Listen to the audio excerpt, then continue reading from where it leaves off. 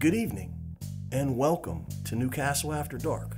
We are your hosts, the management. Coming to you from the land of the Festival of Trees and the Feast of Seven Fishes, bringing you films that are a feast for the mind. Tonight's film is 1974's Black Christmas, starring Olivia Hussey, This has John Saxon Keir Dullea, and Margot Kidder. and it is a creepy classic film as well as the daddy of most modern horror films. Yeah, it really is, uh, especially um, slasher films, but not limited to slasher Correct, films. correct. This film is not a gory film, or is it visceral? It has a powerhouse cast and a good story. It does, yeah. And it's very creepy. It is. Uh, we're showing the UK version, Yes. which is edited for content. Yes, uh, some language in the beginning, but otherwise the film is intact. Um, in the States, this was released as Silent Night, Evil Night, Right.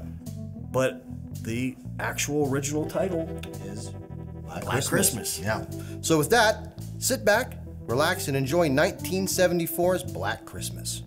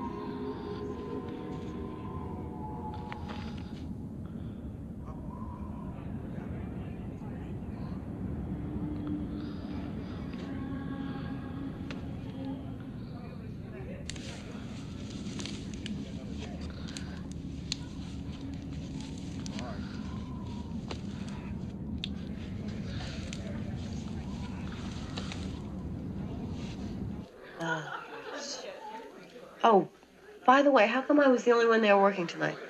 We were there this afternoon, Bar. A likely story. How's it look? Eulish, very Eulish. Have you got your Santa Claus suit ready? Yeah. What time do little bastards arrive? At one o'clock. Terrific. Hello?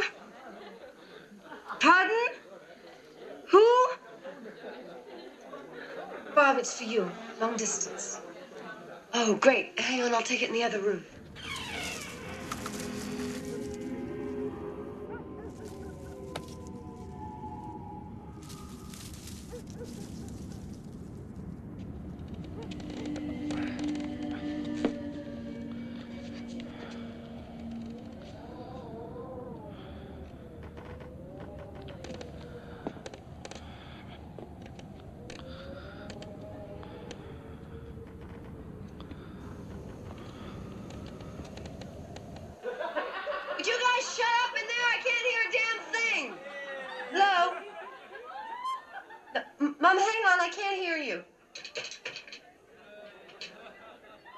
Operator, I can't hear what's coming from the other end. Can you? Yeah.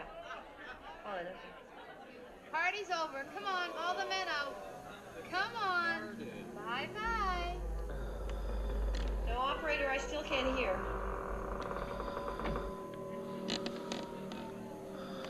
Hi, Mom. Yeah, I can hear you now. No, we're just having a little party. No, I've had a couple. Oh, come on, I'm not drunk. No, no, um, I have some stuff to do in the afternoon, and then I was just gonna get the, the 720 train into the city.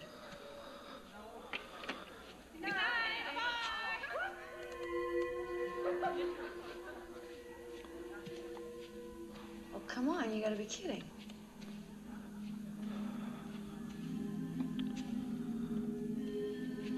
Why can't I come too? Well, who the hell is he? Good night. You're a real gold-plated whore, Mother. See you know next week. that? Okay. Hey, call before you come. I'm gonna have to get my parents used to I'll that. just get a couple of my friends and we'll go uh, skiing. Yeah, sure, I'm on fine. I'll- I'll see you around. Hey, Chris, wait up. I'll give you a ride.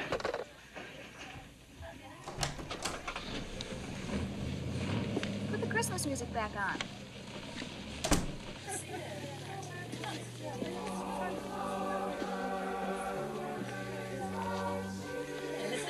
You want to go skiing for a few days? Yeah, sure, Bob. My mother's taking a place up at Mount Holly's. Anyone else want to come? Yeah. Sounds like fun. Great. How about you, Claire? Uh, no thanks, Barb. I've made some other plans. It.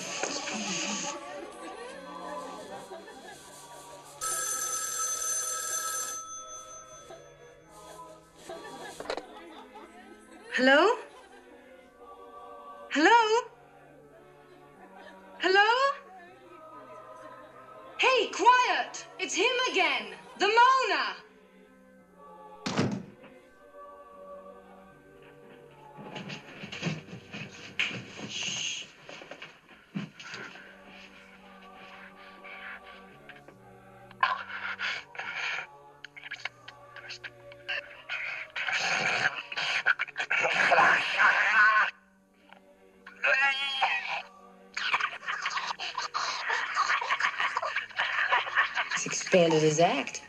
Could that be one person?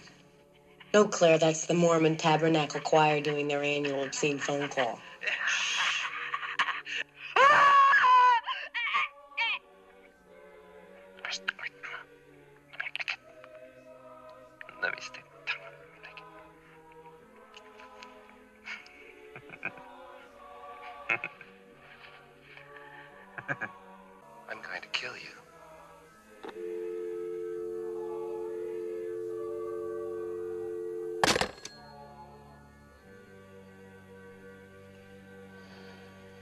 Well, Super Tongue strikes again. Fastest tongue in the West. That was sick. I really don't think you should provoke somebody like that, Barb. Oh, listen, this guy's minor league in the city. I get two of those a day. Maybe. But you know that town girl was raped a couple of weeks ago. Darling, you can't rape a townie. You really are too much, Barb. Oh, come on. This is a sorority house, not a convent. I'll see you later. I'm gonna go pack. Come on, Claire. She didn't mean anything. No, really, Jess, it's okay. I have to finish packing anyway.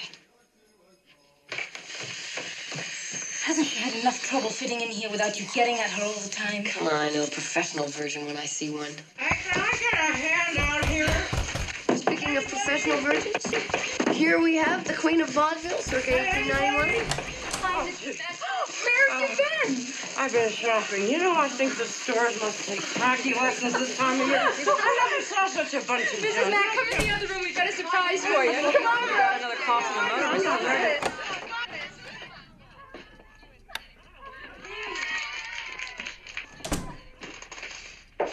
Where have you been? Mrs. Mack's been looking all over for you. Oh, hello, puss. Hello. Go on now.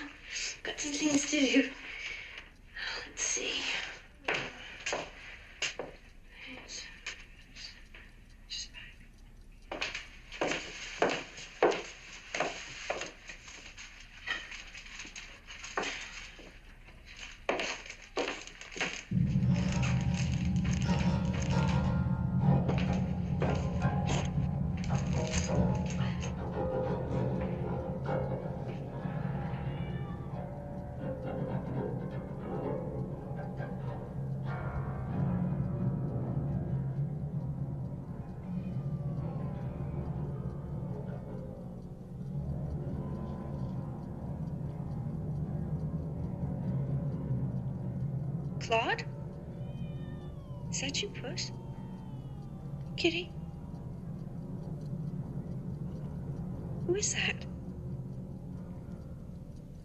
Who is it?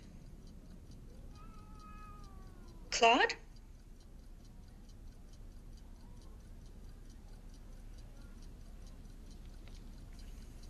Who is that?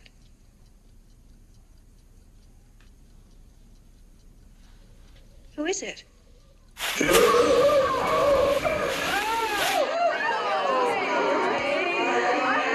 Ah, oh, girls, it's really beautiful. I gotta say, the color and everything. No, it's really lovely. Got about as much use for this as a chastity. Put Oh, come on, Mrs. Mack, put it on. Put it on. Oh, come on. I'm not going to bed. No, please. Put it on. Put it on. Anything for you girls because it's Christmas. Okay,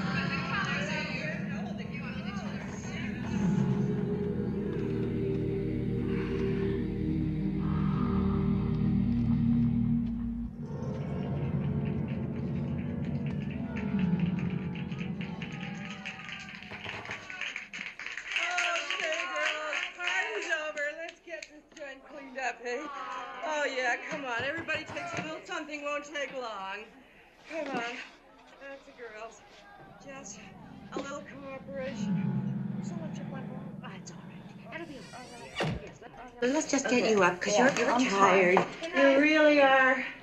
Good night.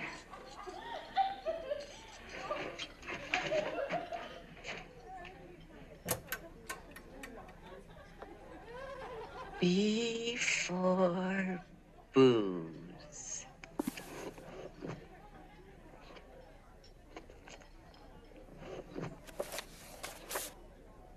There you are.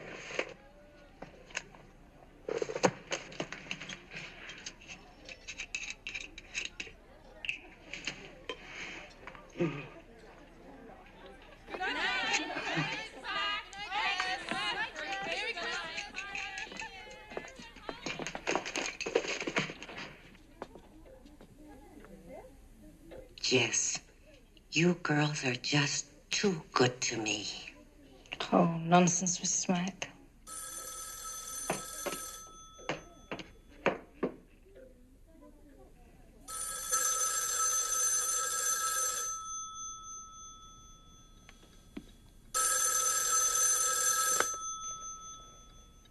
Hello? Hello, is Jess there, please? Yeah. Wait a second, Peter. Jess, it's for you. It's him. Hello? Hi. How was the party? Oh, it was good. Too bad you couldn't make it. I've been I've been practicing for four days straight. And I'm really really wiped out. Yes, I know. Jess, dear, you won't forget to put out the lights. You've got to find some time. I've got to talk to you. You sound funny. What's the matter? Nothing's the matter. I just want to talk to you. Why don't you tell me now? Because I want to talk to you face to face.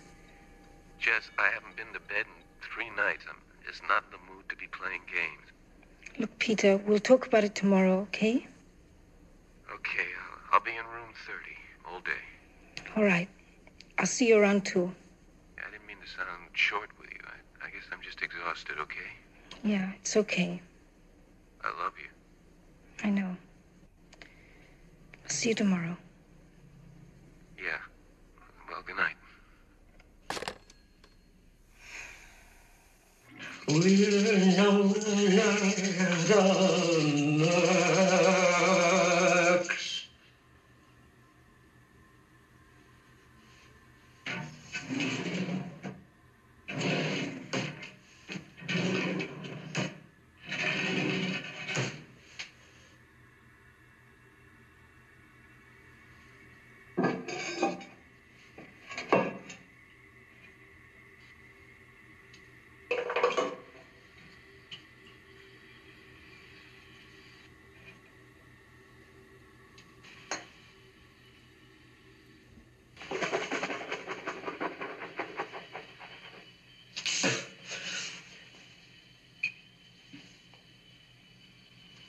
Jesus, I wouldn't wear this to have my liver.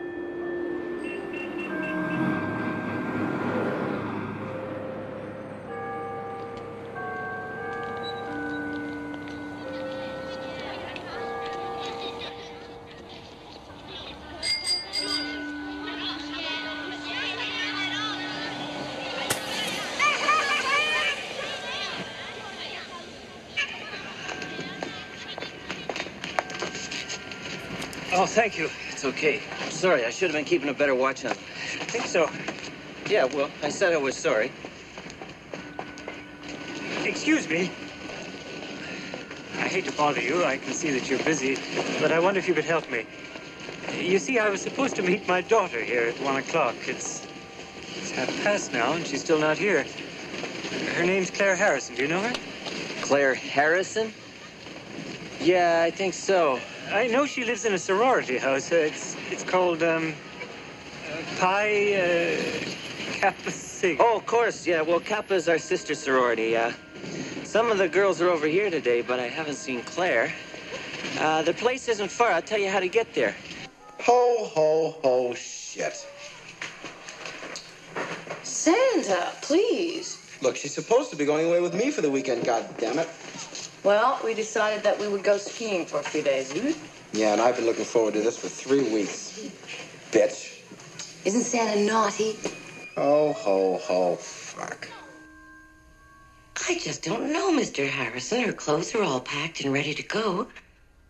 I'll bet you'll find her over at the common room. They're having a party there today for underprivileged children.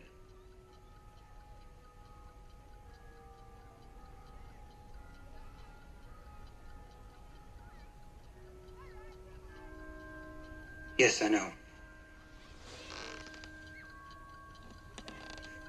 I'm very disappointed in this atmosphere. I intend to do something about it. Who's this? Uh, uh, that's uh, a friend of Claire's, a very nice young man from the town, uh, Chris Hayden.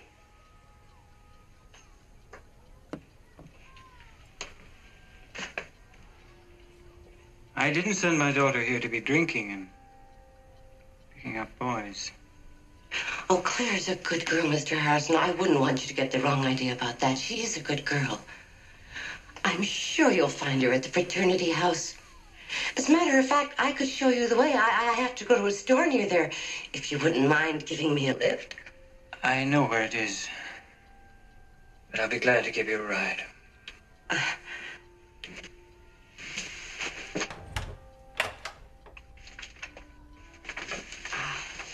This is very kind of you, Mr. Harrison. I'll just get my bag.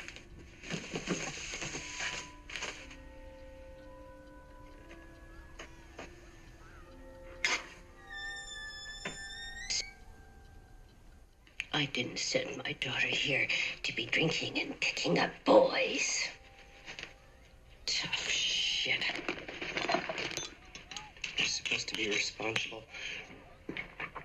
for the morals of every girl in this goddamn house. These broads the leaning tower of Pisa if they can get up there. I do my best. I don't know what the bastards expect of me. Christ's sake. Claude? Is that you, Claudikins? Claude? Here, kitty, kitty, kitty, kitty, kitty. Come on, Claude. Come say goodbye to Mommy. Is that you, Claude? Oh, Jesus, Claude, look what you made me do. Come on, Claude. Here, kitty, kitty, kitty, kitty, kitty. Come on, Claude, I gotta go. Here, kitty. Oh, God damn it, Claude, you little prick.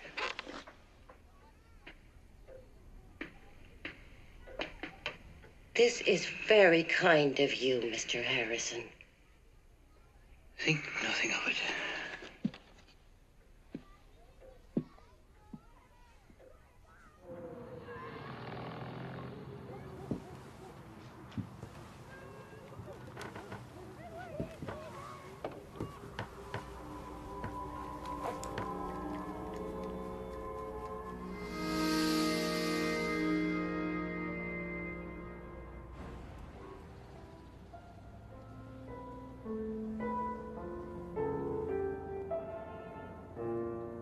I'm pregnant.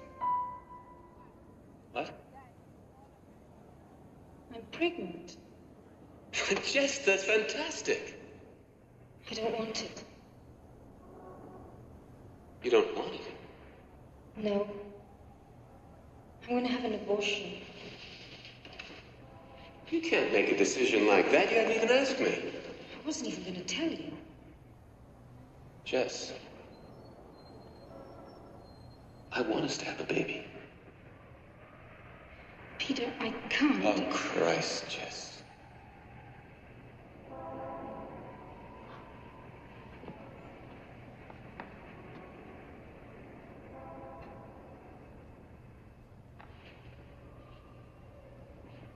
Don't you ever consider anyone but yourself?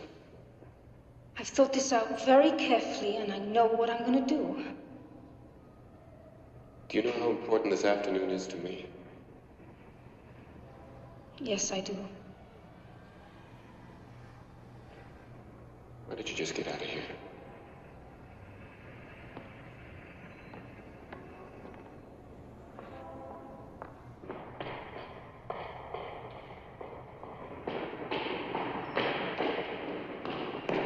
Jeff? I want to talk to you tonight. There's nothing to discuss, Peter. I think there is. I'm not going to change my mind. We'll see. Will you be there at 9 o'clock? Yes. Okay, I'll see you tonight.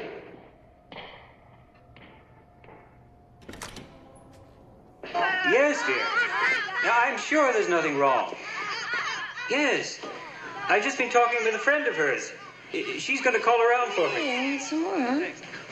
Yes, well, if we don't have any luck, I'll go to the police. Yes. Well, I, I don't think we'll be home tonight. It's a bit late to head out now. I think the little bugger schnockered, son of a bitch. Are you Yeah, sure? goodbye, dear. you are.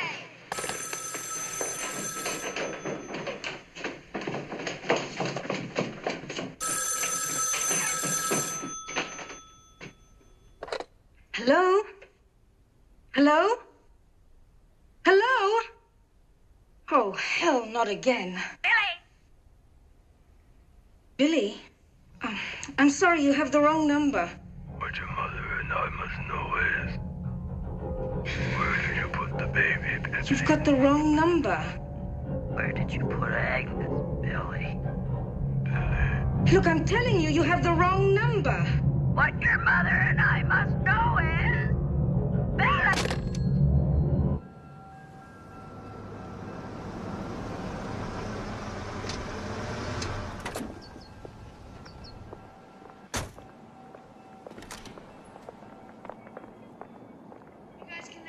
together when the crunch is Look, I really don't think you're taking this as seriously as you should. know I mean, we honestly, may appear we- we made this whole thing up. Now, hold it, hold it. Jeez. Could you just give it to me one at a time? Well, what the hell are you planning to do about it? You, shut up. You know, for a public servant, I think your attitude really sucks.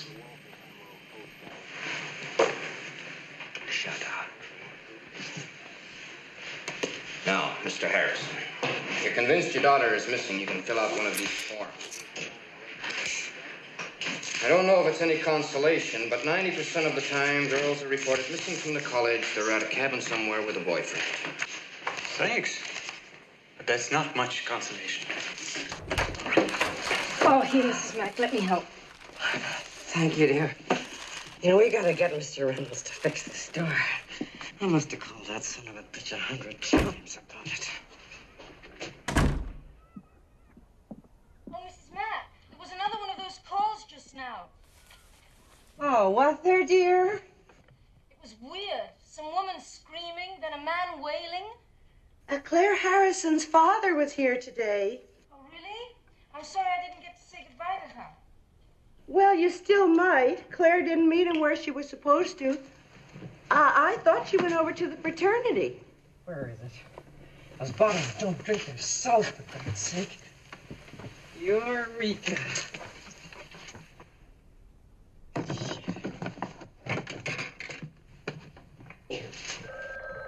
Excuse me.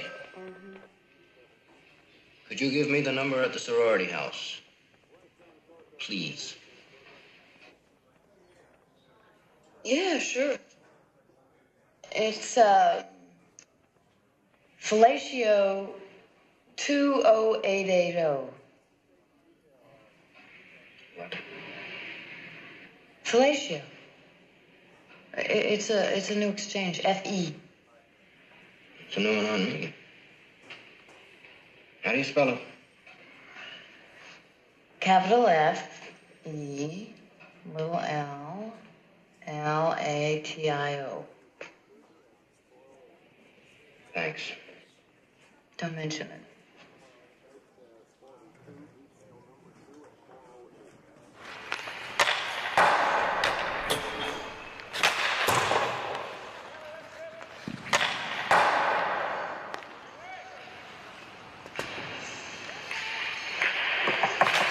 Chris!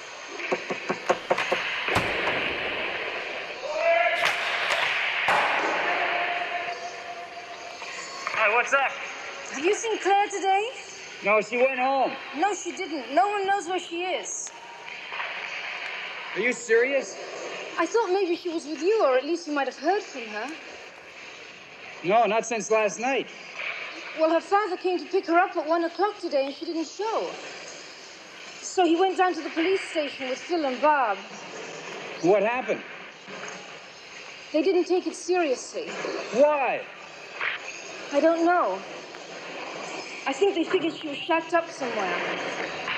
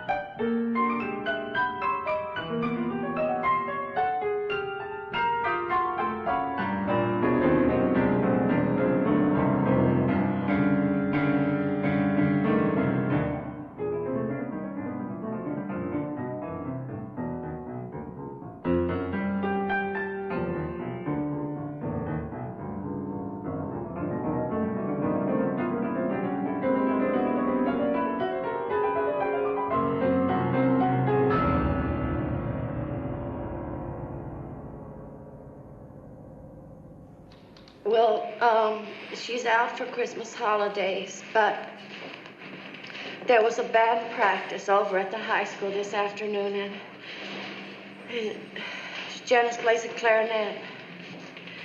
And uh, when she didn't come home, I, I phoned Melody Green. That's her best friend. And uh, they hadn't seen her all day. She's only 13 years old, Lieutenant, and my husband's a trucker. He's out on the road, and so I came over here. Yeah, well, is it really so unusual for her to be just a few hours late, Mrs. Quaid? Oh, yes. She should have been home at noon. We were going to buy a present for her father. Nash, you stupid son of a bitch, you got a big goddamn mouth. What the hell are you talking about? Hi, Chris. How's your brother? Ken, I gotta talk to you. What's up? I want to know why nothing's being done about Claire Harrison being missing and why this sh- idiot gets away with saying the things he does. You're a friend to Claire Harrison? Yeah, I've been taking her out. Oh, this is uh, Jess, Ken. She lives in the same sorority house as Claire. All right, come on in. Sergeant, bring me the file on the Harrison girl. And take care of this.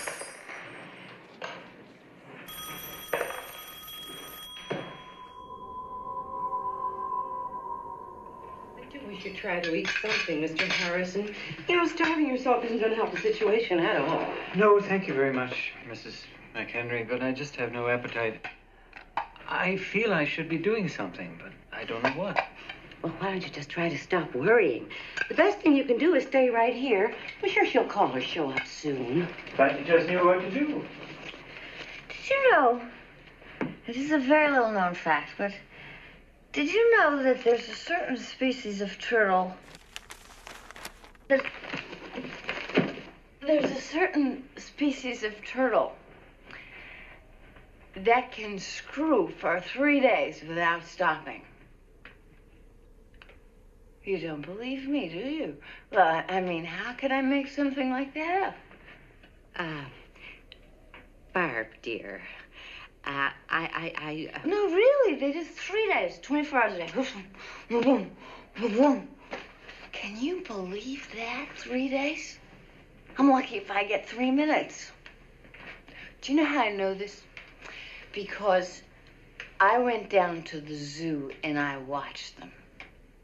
It was very boring. Well, actually, um, I uh, didn't stay for the whole three days. I went over and I watched the zebras because they only take 30 seconds. Premature ejaculation.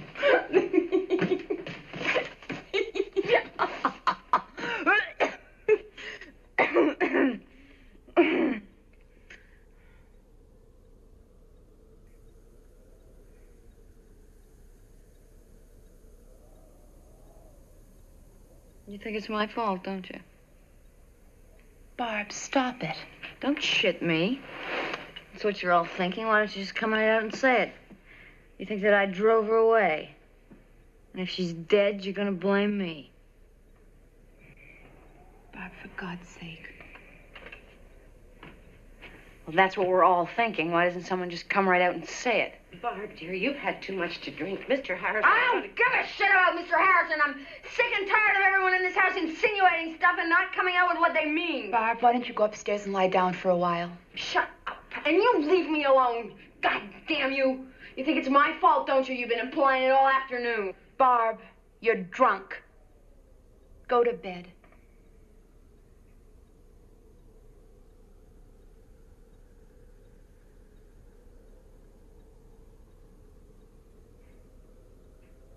Yeah, sure.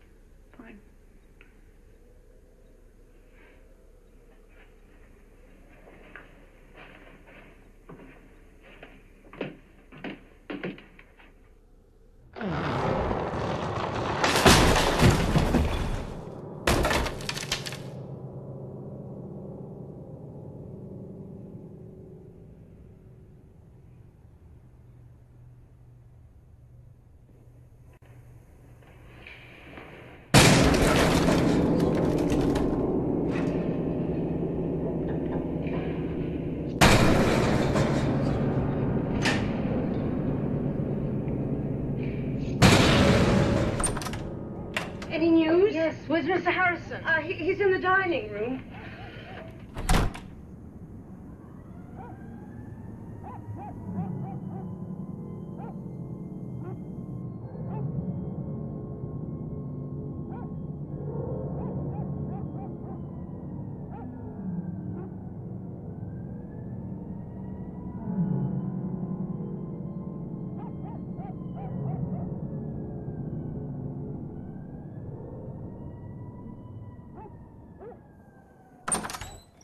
Won't be long, Mrs. Mack. All right, dear. See you later. Uh, Phil. Yeah? Phil, listen, I'm sure Claire will be all right. I hope so. And I just want to tell you that uh, I'm going to go to my sister's for the holidays, so I might not be here when you get back. That's okay. Look, it just checking on Bob before you leave. Could you do that? Of course I will. And you bundle up. Yeah, we'll be all right, Mrs. Mack. Mrs. Quaid and Mr. Harrison have asked me to extend their thanks to you for coming out on this cold night to help. Now, Mrs. Quaid has told us that Janice most likely came through this park on her way home from school today. So the first thing we'll do is comb the park. When I tell you, I want you all to assemble on the south edge of the park with your assigned officer, and then we'll just walk through the park. Spread out evenly, don't bunch up. There'll be two sets of dogs leading the way. Just spread out and follow them. George and Carly, stay out on the flanks. The fumes will mess up the dogs, and don't go more than 10 miles an hour or you'll be no use to us. Now, if any of you find anything, I want you to send someone out immediately to report it to me. Is that clear? Are there any questions? Okay, let's go.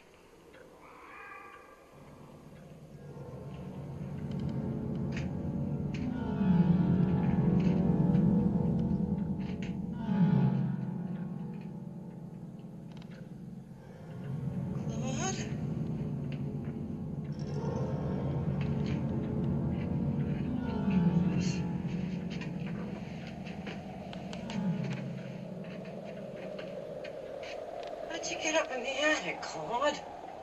Sheesh. All right, goddamn it, you can wait.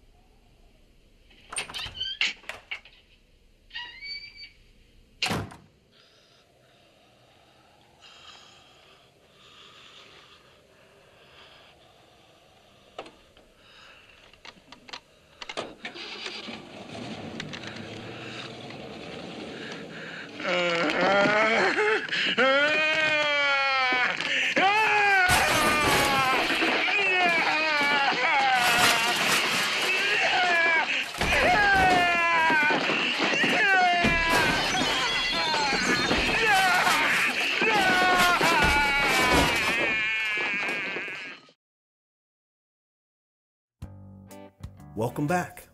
Well, here we have the beginnings of our film, and you may notice a lot of familiar faces. You know, Margot Kidder. Hmm. She was in Amityville Horror. She was. She was in the Superman movie. She was. Uh, um, she was Lois Lane. Yes. Yeah. Yeah. And as you watch this film, you will notice that this cast is well seasoned. It is. I mean, Keir Dullea Yeah. was in 2001, A Space Yeah. Odyssey. Stanley Kubrick. Yes. And uh, John Saxon. John Saxon. Oh, geez, I love John Saxon. Yes. You know, um, Yes. Enter the Dragon. He was in Joe Kidd. Um, he was in The Nightmare on Elm Street Yes. as well. Yeah. Tenebrae. Yeah. Uh, and that's just a few. Just a few, yes. Yeah. You have uh, Art Hindle. Uh, he was in uh, Porky's. He was in Invasion of the Body Snatchers. The Brood. The Brood, yeah. And the, the the neat little fact is is that that fur coat that he was wearing, it really was his coat. He still has it hanging up. in He was styling. He was. Art was styling. He was styling. Yeah, he, you know, as soon as he comes on, you're like, I know him. Yes. You know, I know who that is. He's been in a, like 180 films. yeah, exactly. You know? Exactly. and of course, Olivia Hussey. The fantastic Olivia Hussey. She was a Golden Globe winner prior to starring in this film. Yeah, uh, Romeo and Juliet. Yes. Uh, 1968. Yes. And then she went on uh, after this, um, Jesus of Nazareth with Robert Powell. Yes, and she supposedly took this role because a psychic told her that she would do a film in Canada because this is a Canadian film and that it would make a lot of money. Yeah. She also told her that she would marry Paul McCartney. Well, Paul missed out on that one, didn't he? Whew, man, Paul missed out. He did. Yeah, he did. Well, you know, she was considered by some, you know, to be uh, one of the most beautiful women in the world. Yes. Yeah. Yes. And the thing about this film is the characters are very well developed. As the story progresses, you become emotionally involved with these characters. Yeah. Unlike more modern horror films where the characters may, might not be as fleshed out. Yeah. Oh yeah, exactly, exactly. You know, even though this is, you know, under the title of slasher film. Yes. You know, it's not um, as slasher-ish as they would become. Yes. Yeah. And the one we were emotionally attached to is uh, Mrs. Mack. Right. She had booze in the toilet. She had it in the cupboard. In the book. Yeah. She had it in the litter box. She had it everywhere. Yeah. She did. Now, her role was supposed to go for uh, Bette Davis. Yes. Yeah, but she just turned it down. Yes. But how great would Bette Davis have been? Oh man. Well, Marian Waldman does a good job. She does do a good job. She yeah, really she does. does. She does. Yeah. And uh, you know, but we we liked her nipping on that John Brown there every, every once in a while. She was. And like we said, it's a powerhouse cast. I mean, it really is. Absolutely. Absolutely. It is. So let's get back to Black Christmas.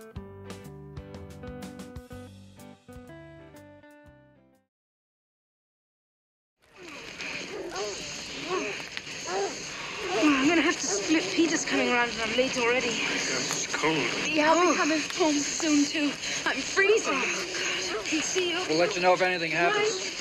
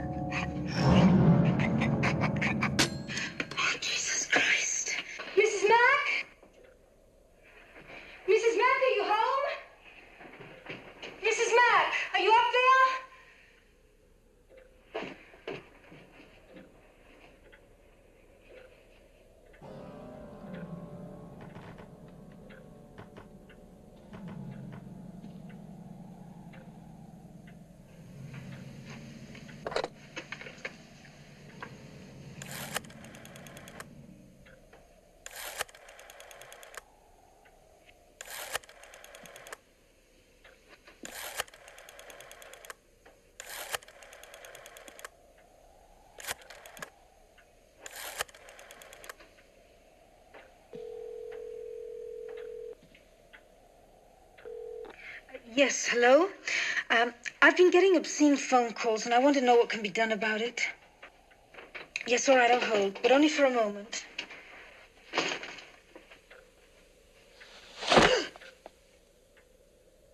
Peter, Jesus, you scared the hell out of me. Why didn't you say something? Yeah? Well,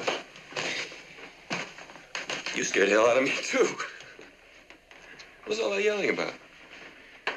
I was upstairs having a little sleep. I hope you don't mind, but it got a little cold out there waiting for you. I'm sorry I was late, Peter. Yeah. Claire Harrison is missing. I was out with a search party looking for her. Yes, hello? I want to report something. No, I don't want to hold. How did the recital go? How do you think it went? Peter, what kind of a game are you playing? I thought you wanted to talk, so why don't you quit attacking me and we'll try to have a rational, adult conversation? Yes. Now stay on the line. Okay, now calm down, lady. Let's have the story. Oh, yeah? That's the address. 6 Belmont Street. How many calls? Well, did you call the phone company? Oh, yeah? Well, miss, we're very busy here. There's been a child murdered in the park. I don't know when we can get a man on it. It's probably just one of your boyfriends playing a little joke. Yeah, well, I'll report it and try to get a man on it just as soon as possible. I'm sorry, miss.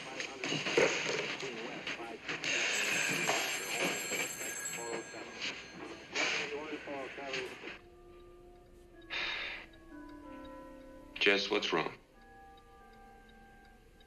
Little girl was found murdered in the park. What? A search party that was looking for Claire found a little girl murdered. Claire's still missing. Well, Claire's all right. Is she? Now listen, Jess, I know you're upset. But I've got something to tell you. I'm leaving the conservatory. Peter. Now, just hear me out. Will you hear me out, please? Now, I've lived in one room for eight years, and I'm tired of it. I'm tired of having to line up behind six people every time I want to take a bath. I've had it. I'm quitting the conservatory, and we're getting married.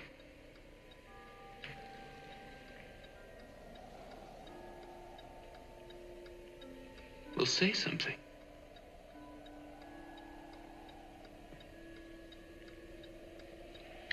Do you remember when we first met?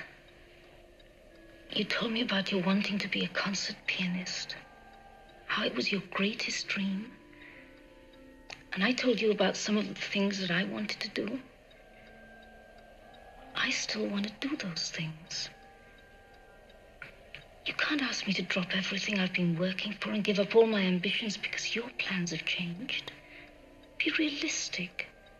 I can't marry you. Sure you can. What does it change?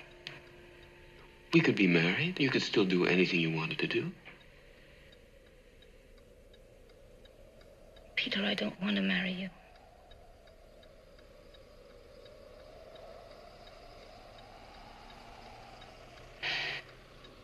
All right. What about the baby? I uh, didn't want to bother you with it, sir. Oh, you did? Six Belmont Street. That's where your daughter lives? Yes, it is. A high school girl's been murdered. Mr. Harrison's daughter is missing. And now at the house where she lives, the other girls are getting obscene phone calls. Don't you think we ought to look into it, Nash? Well, Lieutenant, I guess, uh, sure. Thank you, Lieutenant. Yeah, thanks, Ken.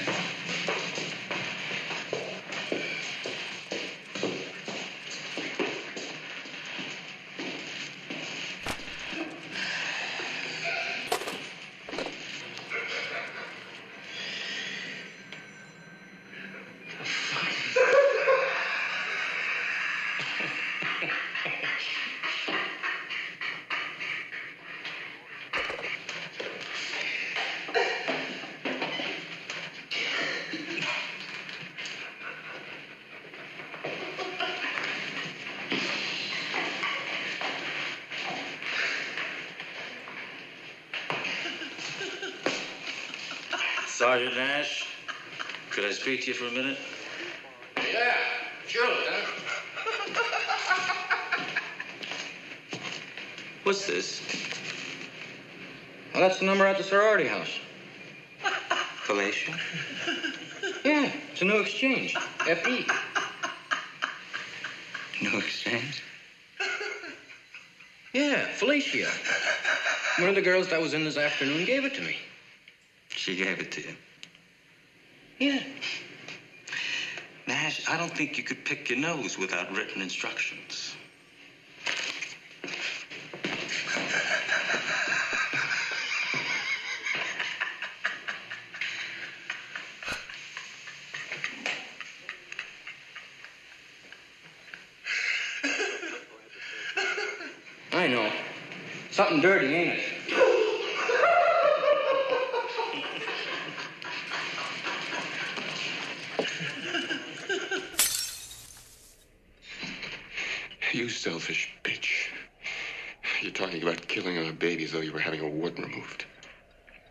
Can you see why I didn't want to tell you? What the hell are you trying to do to me? What are you doing to yourself?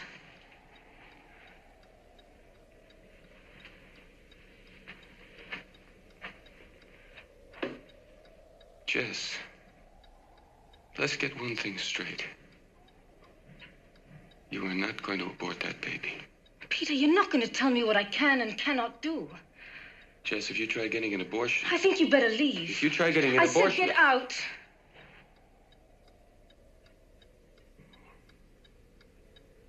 You're going to be very sorry.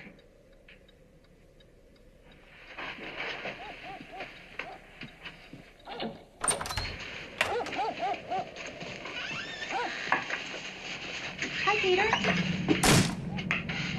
I'll get Jess. Jess, are you okay? Yeah, I'm okay. Any more news? No, but there's some people here to see about the phone calls.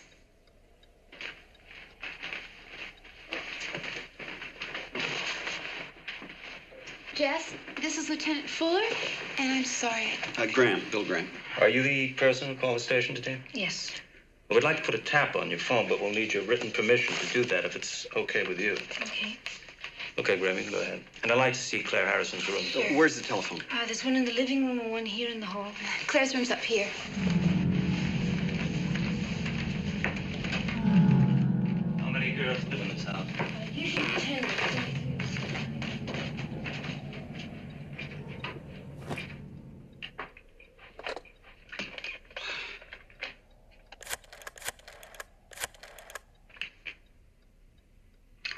Is lineman Graham. It's 6 Belmont. I'm working line 559 6114.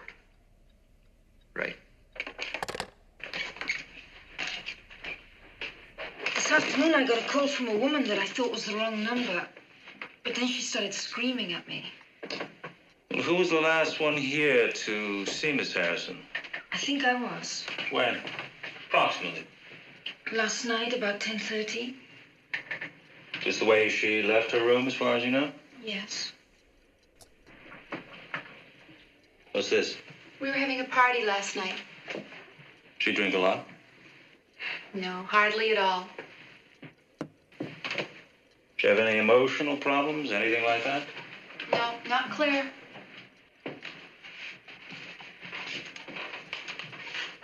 Who was she seeing besides Chris Hayden? No one. Sure Well, so you were the last one to see her sometime this morning? Last night. Right, last night. Well, did anyone see her this morning? No, I didn't. And all the other girls have gone for the holidays. Can I get a list of their phone numbers where I can reach them? Sure. There's one in Mrs. Mack's room. Who's Mrs. Mack? She's the house mother.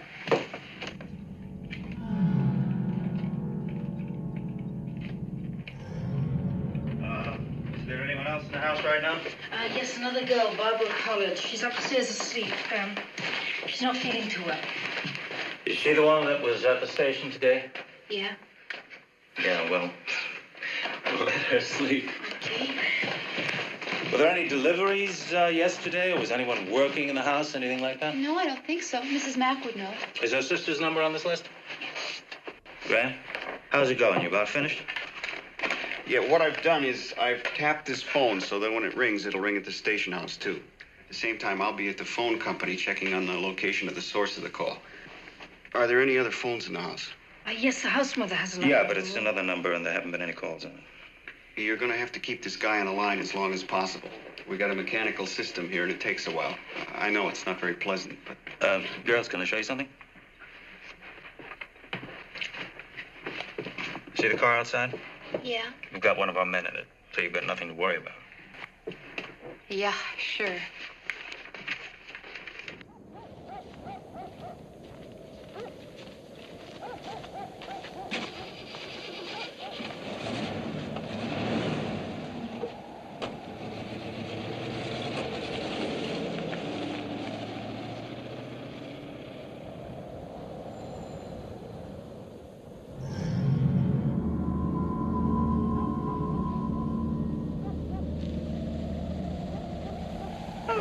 Jess.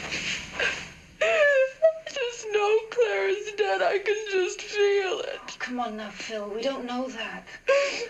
Poor Mr. Harrison. I feel so sorry for him. Hey, hey. How's Chris? Oh, he's okay. You know, Chris. Oh. I'm sorry, Jess.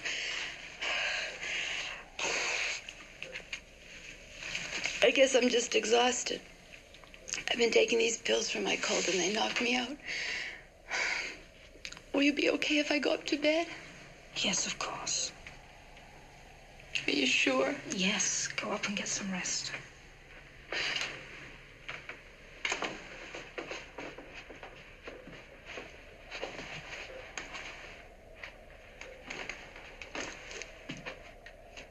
Call me if there's any news.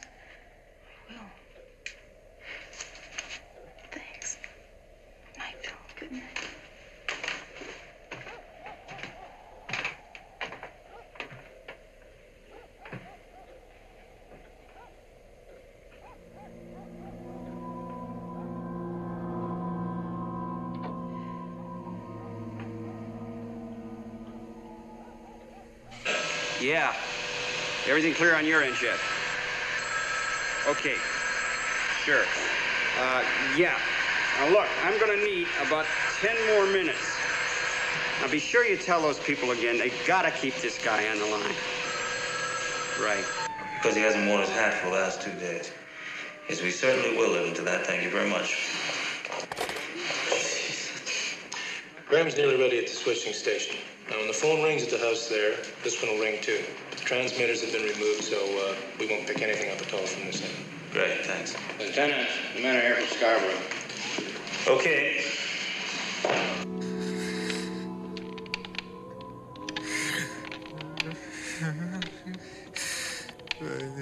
can't fetch your skin.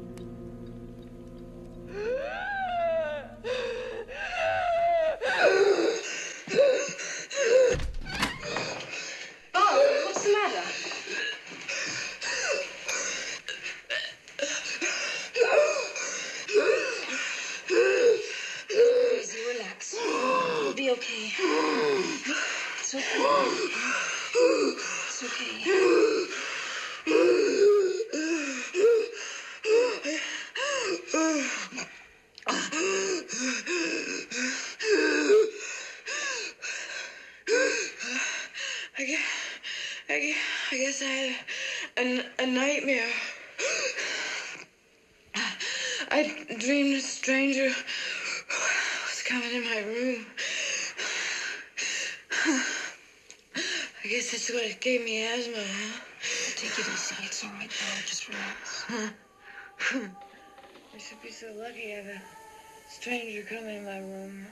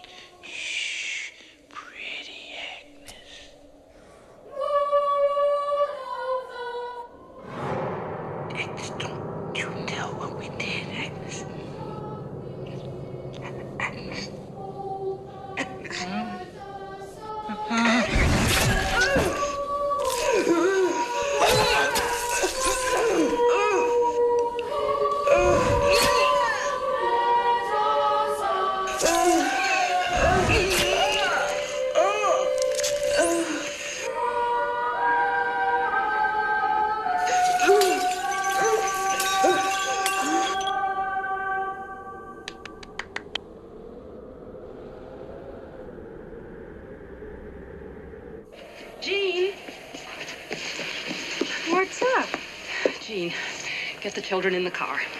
Oh, what's going on? Please, just get them into the car. Okay, kids. Let's go. Come along, children. Hurry. Miss? Miss? Thank you. Merry Christmas. There was a little girl murdered over in the park tonight. Yes, I heard. Phone's ringing. 44 Cruiser 354.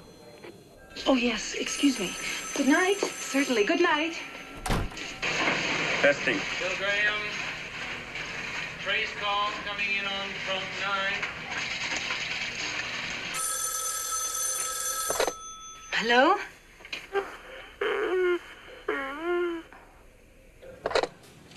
Hello?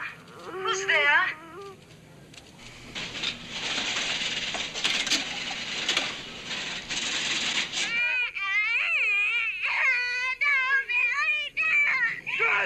Tonight!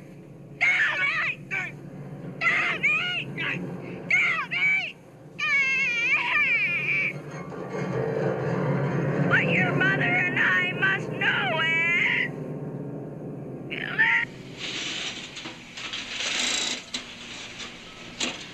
Just like having a wart removed. Oh, my God.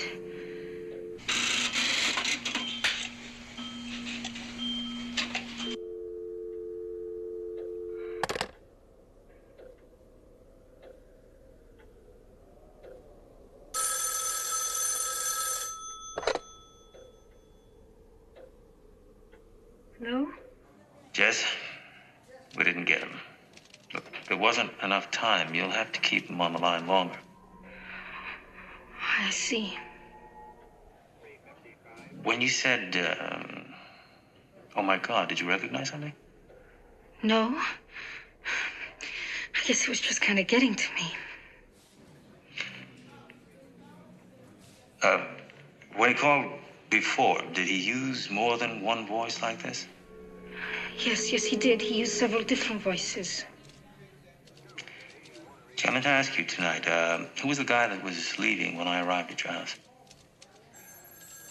My boyfriend, Peter. Were you having a fight?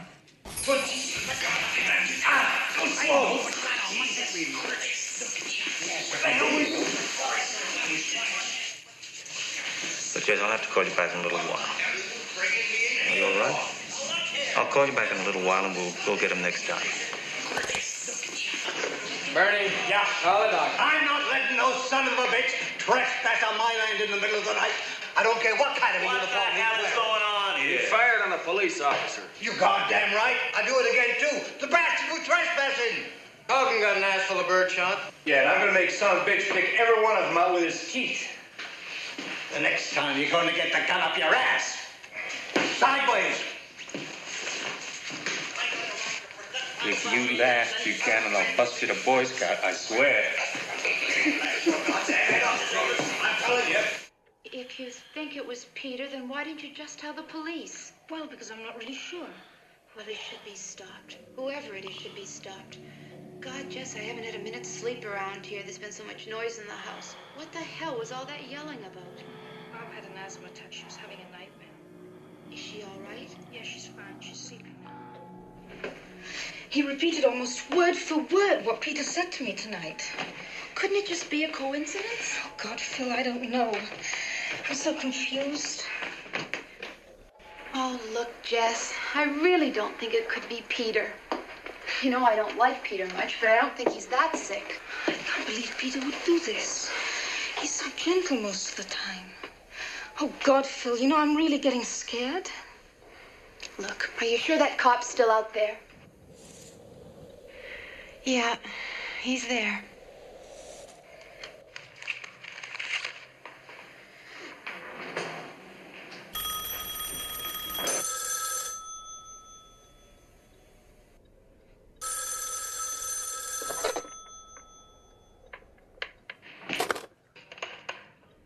Hello?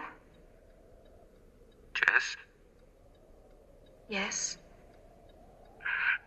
God, please help me. Oh, look, Peter, don't cry. We can straighten things out. There's nothing to get so upset about.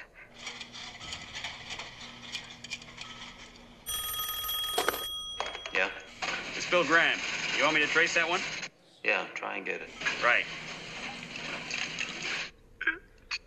Jess, we can't kill the baby. Please, Jess. We can't, can't kill the baby.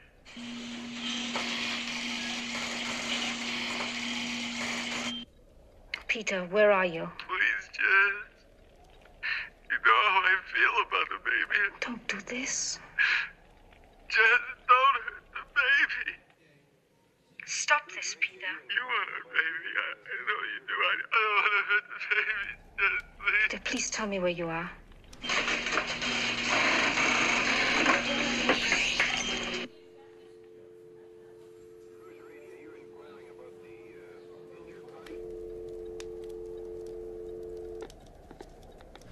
I'm sorry.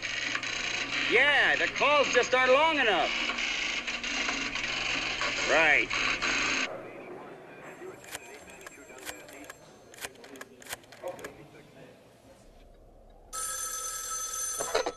Yes.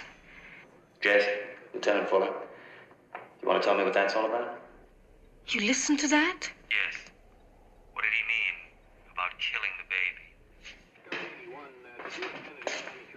Jess, it's important that you tell me.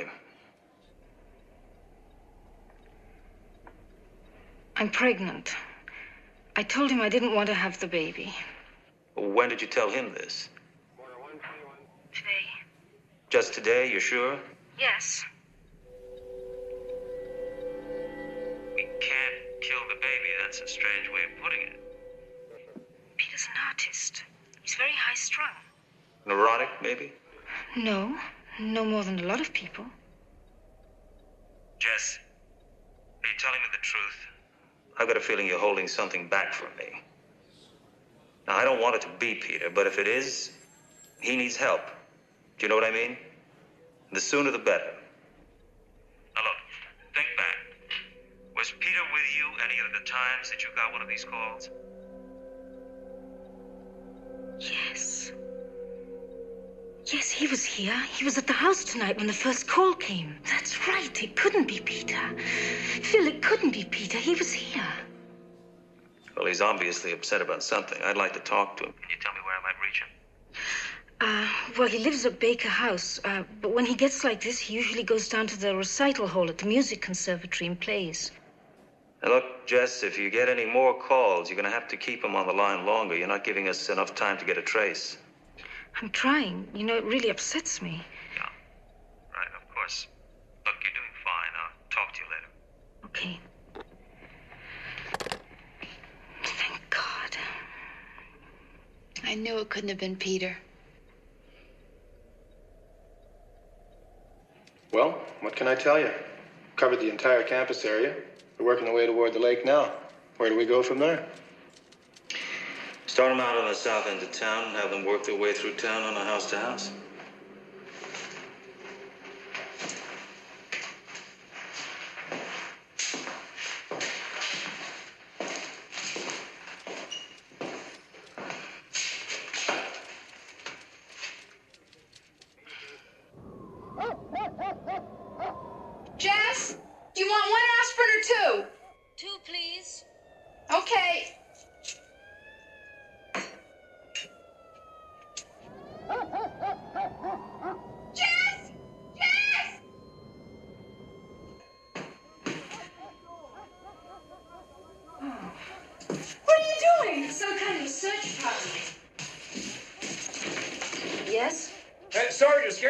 But we're with the search party.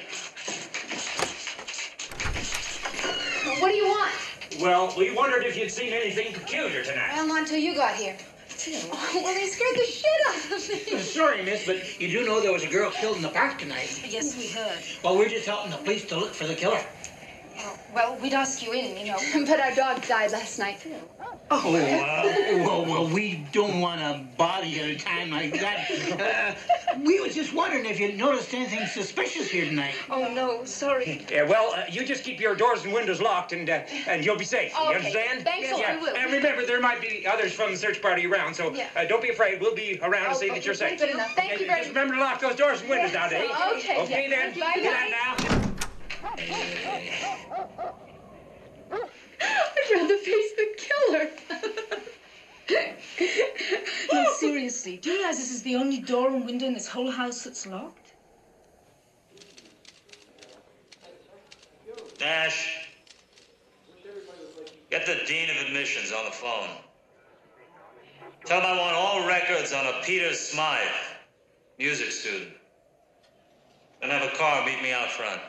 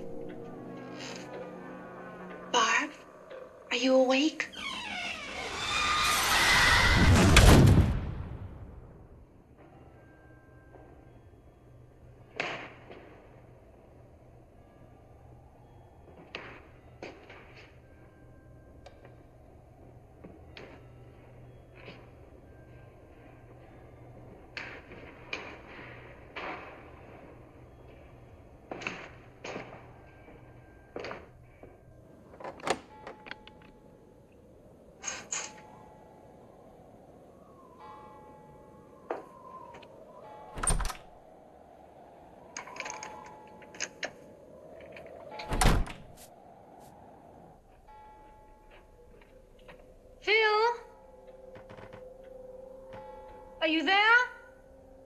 Phil?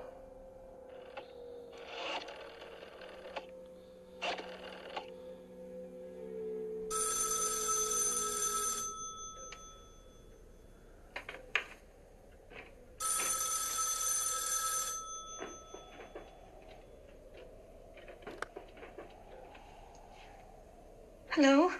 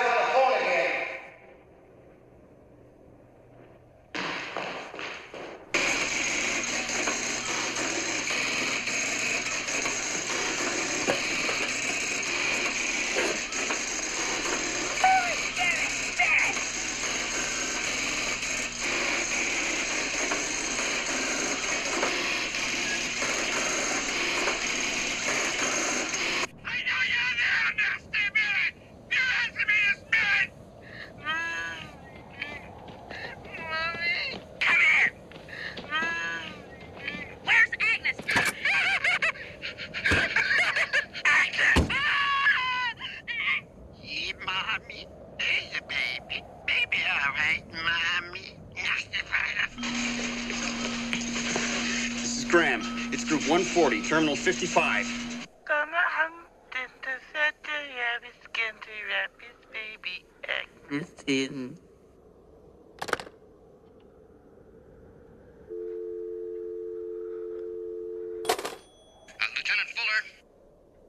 Yeah, Nash, what is it? A phone company's on the other line, sir. They say they got a trace on this one. Yeah, let's have it. He says the calls are coming from number 6 Belmont Street. Christ's sakes, Nash, you got it wrong. That's where the calls are going into. That's where they're coming from, too, sir.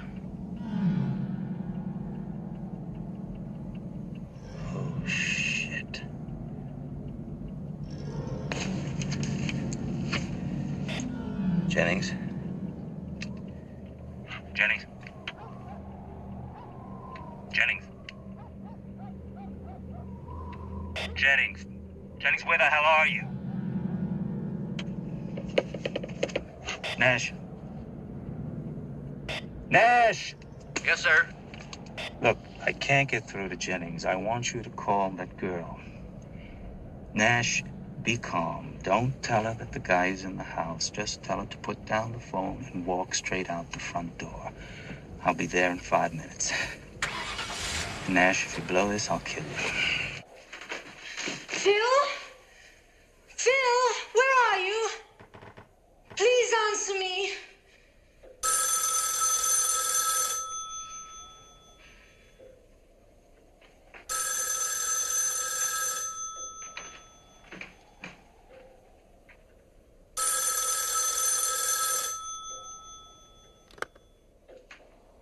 Hello, Who is this? it's Jess.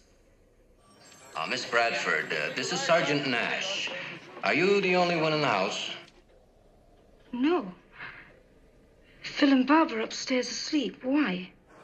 All right. Now, I want you to do exactly what I tell you without asking any questions, okay? N- n- no questions. Now, just put the phone back on the hook, walk to the front door, and leave the house. What's wrong? Please, Miss Bradford, please just do as I tell you. Okay. I- I'll get Phil and Bob. No, no, no, don't do that, Jess. Jess, the caller is in the house. The calls are coming from the house. Jess! Jess, get up! And don't go up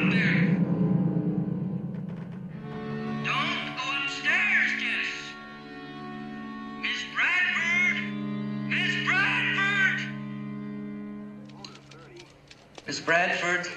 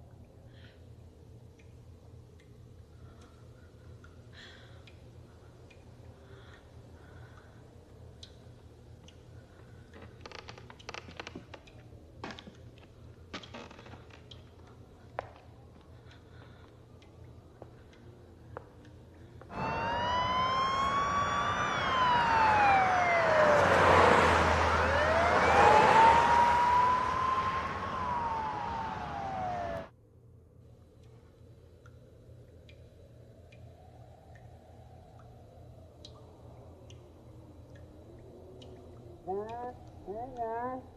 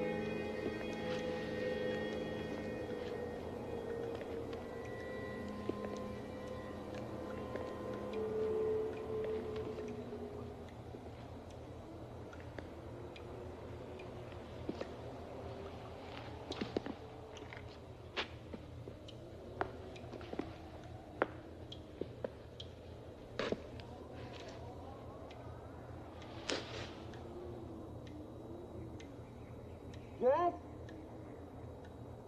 Jess, are you all right? Jess?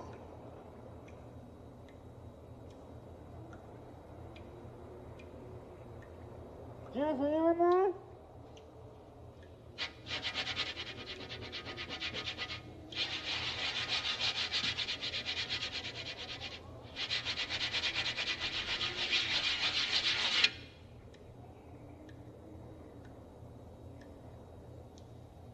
Jess!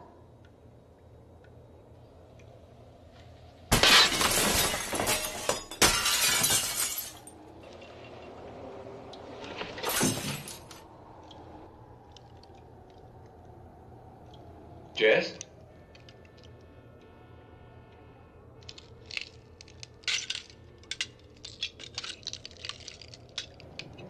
Jess? Jess?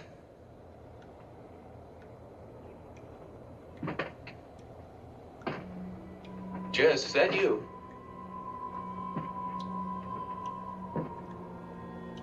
Jess? Are you in there?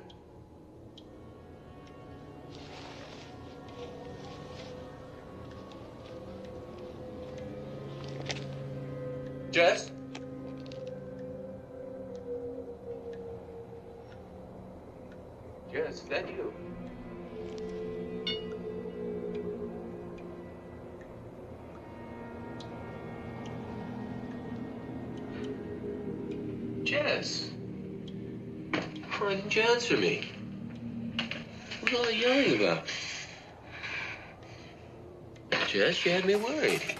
What are you doing down here?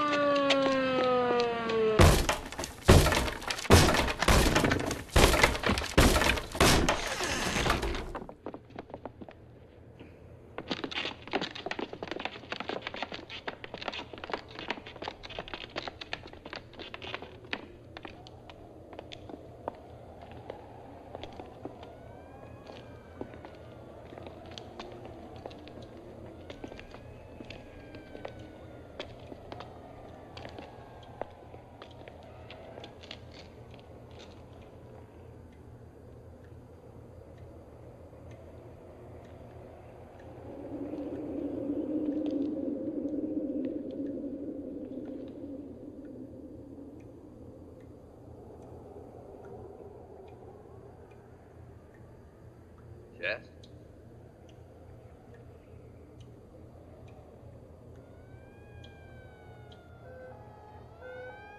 I knew it. I knew it in my gut it was that kid. Why would Peter start killing people? I don't know. He must have made a call after after each murder. It's hard to believe Jess would kill anybody, much less Peter. Well, she's under. How long do you think it'll be before I can talk to her? Just a couple questions. Well, she'll be out for at least four hours and pretty groggy after that. What time do her parents get here? A couple of hours. They're driving down from Unionville. I'll stay with her till then. But the condition she's in, I wouldn't count on talking to her before tomorrow afternoon if I were you. Has anybody notified Patrick Cornell? Who? What? Uh, Phil's boyfriend. It's okay, I'll do it. Uh, Lieutenant, I think we're gonna have to take these bodies to the morgue in uh, Lincolnville. The hospital doesn't have facilities to handle this many at one time. All right, tell the coroner there and get started on the autopsies right away. And notify the parents for identification. Yes, sir. Uh, I think that about wraps everything up here, sir. Uh, state lab guys will be here in about an hour. They said. Uh, reporters, sir, and television news guys, they want pictures. Get them out of here. Tell them I'll meet them down at the station. All right, guys, come on. The Bradford girl being charged, Lieutenant. All right, you guys. Come on. Hang on. Hang on. Yes, the girl's father's upstairs, but he can't tell you. Would you keep it down, please? We've got a sick girl in here. Look, I'll level. I don't know the whole story, but I'm sure it's not here. Let's go down to the station. Come on, get out. Out, I said. down, let's go. Come on. Come on, move. Sure. Any hope of finding her alive? Somebody get him downstairs. He's got to go to a hospital. She'll be all right, Mr. Harrison. She's gonna be back, I know it. Get out of here. You don't want anybody in the house. Somebody give us a hand here. Hey, you. Nash, will you see that everything's wrapped up? All right, Lieutenant, we'll do. Hey, Lieutenant. Hey, you. Come on, out, out. You want to spend the night in the can? Move. Jesus, what's the matter with this guy? He's suffering from shock. We have to get him to the hospital. Can you get us a car, Nash? Yeah, yeah, let's go. All right, McCloskey. You heard what the lieutenant said. All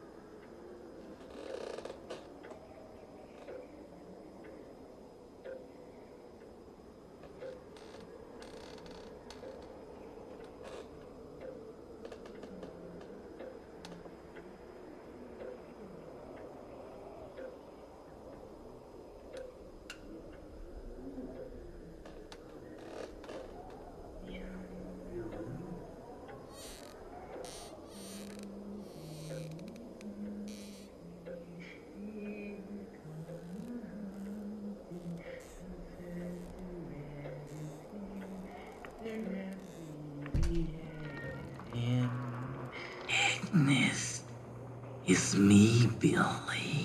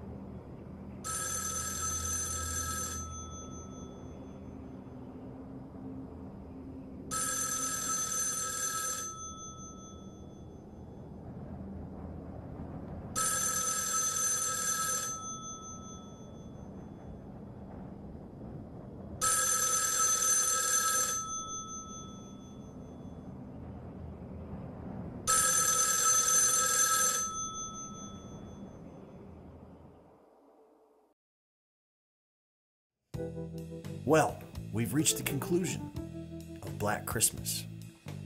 And you may be wondering where this story comes from. Well, supposedly, this was based on murders that took place in Canada. Yeah. I, I mean, Quebec, Montreal, yeah. very loosely based upon it. Right. As the story goes. As the story goes. Yes. We don't know how true that is. Right. But it's based upon. Right. The idea was based upon. Yes. Yeah, murders that had happened. Yes. Yes. So we have to touch upon Bob Clark. Oh, absolutely. Because Absolutely. Bob Clark started off in horror films. He did Children Shouldn't Play with Dead Things. Yeah. And this one. And then he kind of moved on. He did. He did Moonrunners, which ended up inspiring the TV show Dukes of Hazzard. Right. And he directed A Christmas Story. And we mean the movie A Christmas Story. Ralphie, right, uh, with the Red Ryder BB gun. Yeah. It's a classic. I mean, they run it for 24 hours. Yes. Uh, on Christmas Eve. Yes. Yeah. And to go from genre to genre and have success. He also did Porky's. That's right. I mean, he did Porky, which is, I love Porky's, Oh. right? But you're right, to go from um, doing horror into comedy and being successful at it and doing it well, Yes. I mean, that's unheard of. I mean, That's- really. That's talent. It is talent. It is. You know, and the thing about Bob Clark was Bob Clark would do the Comic Cons and he would always invite cast members from Black Christmas. And Olivia Hussey usually didn't, you know, participate because she had a social anxiety. She just didn't like being out and being around crowds and and in 2006, when the remake, which Bob Clark approved, came out, she did the Comic Con with him. And three months later, him and his son were killed in a Unfortunate, car. Yes, yeah. unfortunate. Yeah. So, even though he approved the 2006 remake, which added to the story, Right. the true remake, the true sequel, never came to Never be. happened, no. And um, um, Andrea Martin was the only one from the original film to be in that 2006 remake. Yes. I guess there was another one in 2019, which I knew absolutely nothing about. Yeah, we didn't see it. No, so. But also, you can see the inspiration that this provided for future films. Oh, absolutely. You know, in my opinion, you know, especially when a stranger calls, Oh, completely. right? I mean, you know, the Completely. call's coming from inside the house. Yes, this was the first time that that was done in a film. Right. Now, younger folks with cell phones, of course, don't seem to understand or get that point of Right. a landline. Yeah. That's Yeah.